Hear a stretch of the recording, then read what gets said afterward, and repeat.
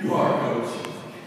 You're lining up. Um, at this point, we have a special presentation from our varsity cheer team.